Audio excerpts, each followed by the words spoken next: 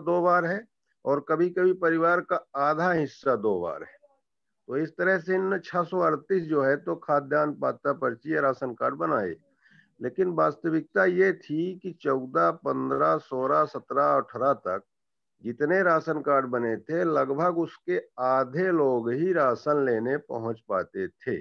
आपके इस अड़तालीस घंटे वाले आरटीआई आवेदन के बाद राशन कार्ड लिस्ट जब मैंने देखी उसमें एनएफएसए पोर्टल पे जब छह सौ अड़तीस के नाम उन्हें मिले तो कम से कम सैकड़ा भर लोगों को मैंने ही बताया कि आपके फेवर में राशन आवंटित होता है और जुलाई 19 तक वितरित भी दर्शाया जा रहा है जैसा कि खाद्य नियंत्रक महोदय ने अपने उस चार्ट वाले में बताया था हम्म। छह में छह सौ छत्तीस लोग खाद्यान्न ले जाते हैं तो उसके बाद लगभग सौ से ज़्यादा लोग खाद्यान्न लेने पहुँचने लगे हैं वास्तविक तौर पर। कागज़ में तो उन्हें पहले भी बट रहा था। लेकिन उसके बाद भी जब ये प्रद्युम्न सिंह तोमर फ़ूड मिनिस्टर थे, उस दौर में एमपी में जो ये ई पी लागू हुआ, अगस्त 19 से रीवा में लागू हुआ है। शायद देवास में थोड़ा दो, एक दो महीने पहले लागू हुआ था। लेकिन अब आल एमपी में लागू है। अब तो जून 20 से आल इंडिया हो गया है।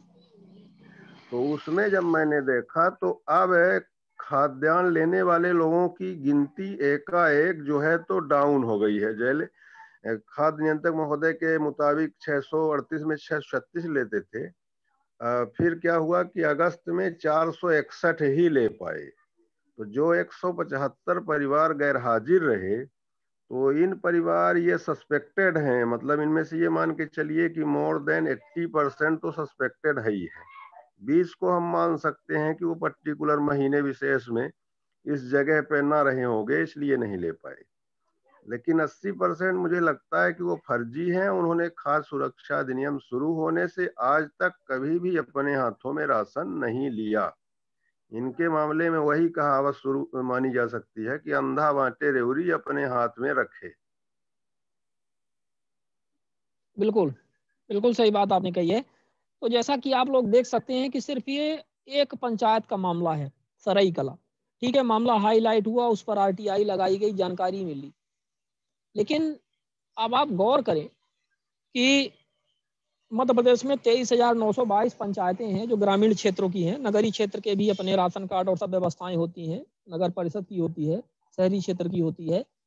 पर तेईस हज़ार नौ सौ बाईस ग्राम पंचायतों में यदि एक पंचायत का एक कोटा माना जाए तो तेईस हज़ार नौ सौ बाईस कोटे हैं।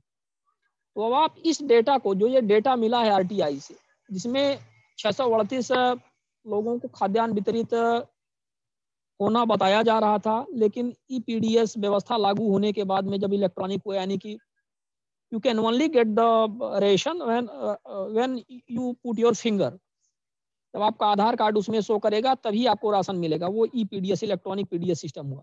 तो इसके बाद suddenly about one seventy five पौने दो सौ लोग कहाँ चले गए? वो कौन थे?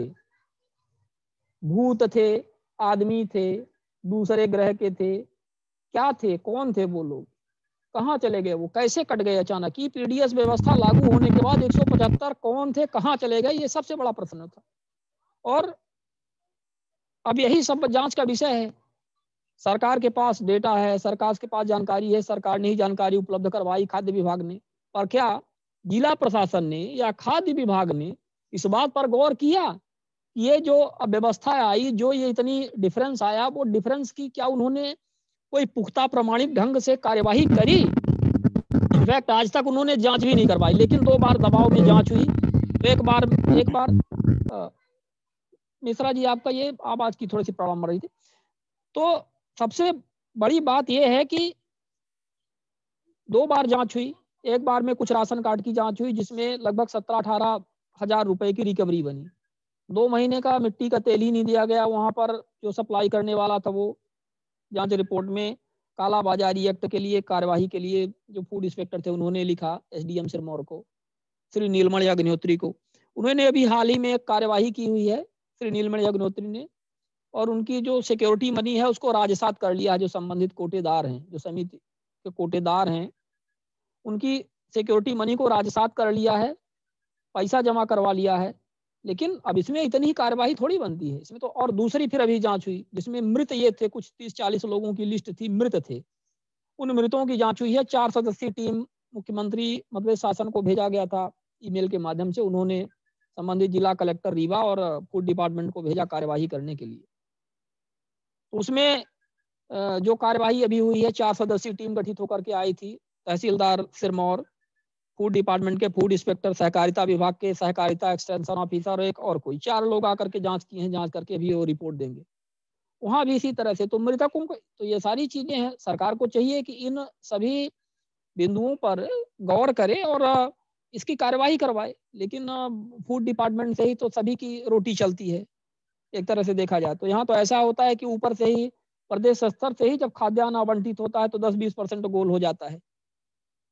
तो अब ये पूरा जो रैकेट है इस रैकेट में कौन कौन सम्मिलित हैं? ये पूरा माफिया का सिस्टम है। माफियाओं पर कार्यवाही करने के लिए सरकार बोलती है लेकिन सरकार में ही कई माफिया बैठे हैं। तो ये बहुत ही चिंता का विषय है। हमें लगता है कि सवा दस हो रहे हैं। शिवेंद्र मिश्रा जी कुछ और यदि जोड़ना चाहें तो कृपया आप बताएँ और हाँ दुबे जी। सर एक। बात सर एक बात जो ये हाँ। सत्रह हज़ार रुपए इनको दान लगा है ये डांड है उस असेसमेंट के आधार पर लगा है जो कि संबंधित ग्राहियों को 10 किलो या 15 किलो कम मात्रा में राशन दिया गया था।